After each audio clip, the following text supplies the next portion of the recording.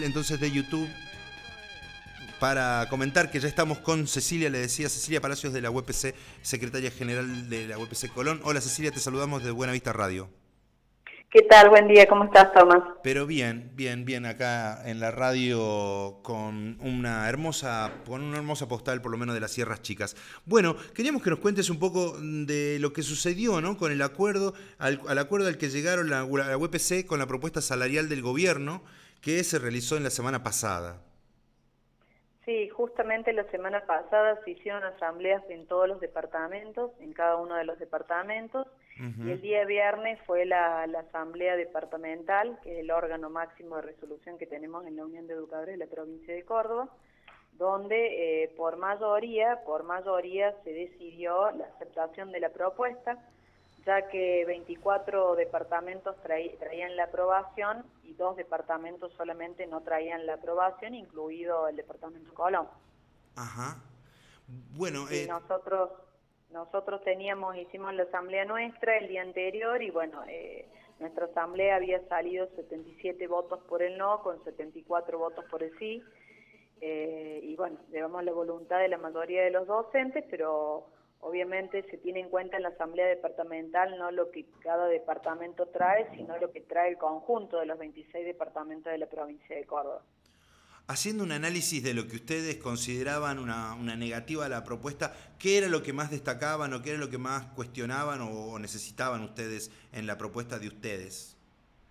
Mira, en la primera asamblea nuestra, en la primera asamblea, cuando es la primera propuesta que se baja el gobierno después de que nosotros tuvimos una departamental, eh, porque, a ver, para poder hacer un, reconto histórico de, cómo fue toda la situación. Nosotros tuvimos una primera, una, una propuesta, nos bajan una propuesta, pero previo a esa propuesta nosotros en la departamental habíamos puesto como ciertos puntos, ciertos acuerdos que nosotros consideramos que no se habían cumplimentado y que sí o sí se tenían que tener en cuenta para bajarnos una propuesta en la mesa de, política laboral y salarial nuestra.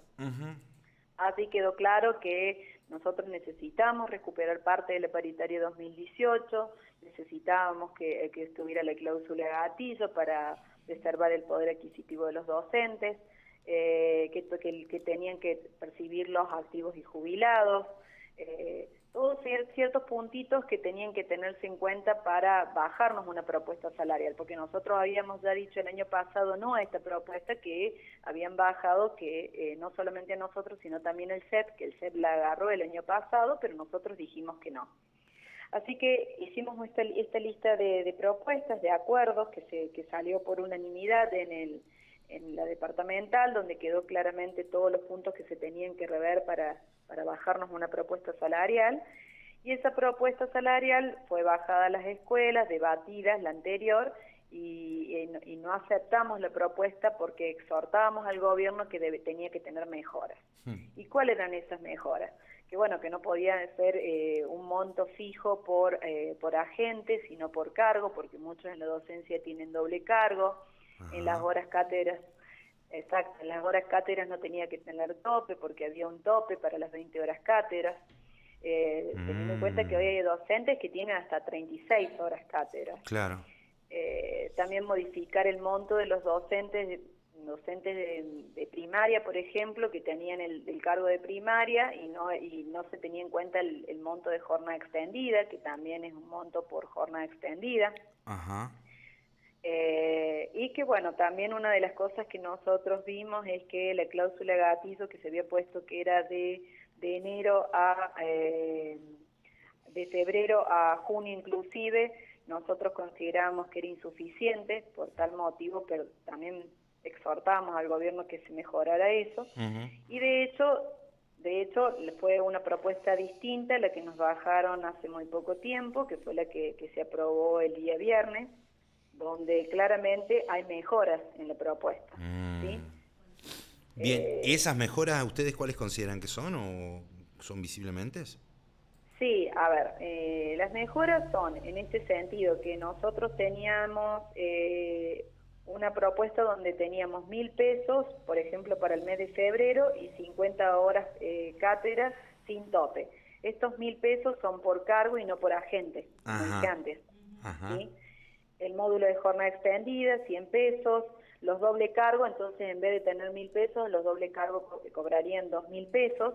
Bien. Y eh, teniendo en cuenta que esto sería para el mes de febrero, pero los montos se modifican en marzo y en abril. Claro. O sea, pasaban de mil a mil trescientos en marzo eh, y de mil trescientos a mil quinientos en abril. Llegando al doble cargo a tres mil pesos. Bien. Esto en cuanto a esta suma, estas sumas que, que son no remunerativas, pero no como a veces uno piensa, porque muchas veces sin querer decimos son sumas en negro. En realidad no son no, sumas en negro porque están en nuestro recibo de sueldo. Van a quedar incorporadas al salario, digamos, al salario ya del 2020. Exacto, van a tener que quedar incorporadas definitivamente al salario para el año 2020. Y esto de que, bueno, de que la cláusula gatillo ya no sea hasta junio, sino que sea hasta agosto inclusive, eh, teniendo en cuenta el IPC de Córdoba, y se abona efectivamente al mes siguiente de que dicho porcentaje se haya publicado, esto también lo veíamos como, lo vemos como una mejora. Eh, entonces la propuesta salarial fue obviamente fue debatida, ha generado mucho debate, eh, es una propuesta que se instala en un contexto económico que está viviendo nuestro país, eh, nosotros podemos ver en muchos de los, de los sectores, nosotros también en el Departamento Colón lo estamos armando, es muy, muy reciente, estamos tratando de armar una mesa intersindical donde uno puede analizar lo que está pasando en cada uno de los sectores y entiende que es una propuesta, es una propuesta que lo que hace en este momento nosotros hemos tenido con nuestro gremio y, y lo voy a decir hasta el cansancio, hemos logrado mejorar muchas cosas, hemos avanzado y en algunos momentos hemos tenido muy buenos aumentos. Pero ha habido momentos en políticos que hacen que, que uno tenga que tener un salario donde son momentos como que quien diría de, tratar de preservar y tener la, menor pérdida del poder adquisitivo. Y bueno, esta propuesta creo que lo que ha hecho es, por eso lo han entendido eh, casi la totalidad, no digo la totalidad porque obviamente como dije hay departamentos que, que, dijeron que no, hay algunos docentes que dijeron que no, pero casi en su gran mayoría los docentes han podido entender que, bueno, que es una propuesta que necesitaban por la situación económica también en que estamos viviendo, ¿no? Bueno, bueno, entonces por lo menos podemos eh, sentirnos un poco mejor de la propuesta que le han realizado y que también los docentes ya de esta lucha que se realiza, que, justamente, ¿no? Por la mejora de, las condiciones laborales, eh, se haya llegado a un buen acuerdo, es algo que se puede celebrar, eh, Cecilia, ¿verdad? Sí, por supuesto, es un acuerdo que hoy por, eh, a, los docentes les sirve, es un acuerdo que ahora cuando lo cobren en planilla adicional van a poder ver, se va a gatillar la, cláusula gatillo, eh, se va a tener en cuenta los montos, tienen que hacernos también, hay que tener en cuenta que no, no quedó en esta propuesta, pero también está el blanqueo del material didáctico, que es mm. una que es una cuestión que responde a un acta celebrada en el 2015 y que hoy estamos cumpliéndose el último tramo. Así que son cosas que los docentes cuando reciben su salario, cuando cobren, ahí se lo van a poder percibir. Y sobre todas las cosas es seguir avanzando en cuestiones laborales, como dijiste vos, que, tienen que seguir bregando y trabajándose en la mesa de política laboral y salarial, como ha sido lo último que hemos logrado, que es el tema de los cargos de vicedirectores para nivel inicial. Ah, muy bien. Bueno, le agradecemos muchísimo el contacto con la, con la radio, secretaria. Le mandamos un abrazo muy grande. Muchísimas gracias, Tomás. Que tengan una buena jornada y que sigan con esa postal hermosa que es la de nuestra Sierra Chica. Ahí está, muchísimas gracias. Bueno, hablábamos con Cecilia Palacios, la secretaria general de los docentes en el departamento Colón. Nosotros vamos a ir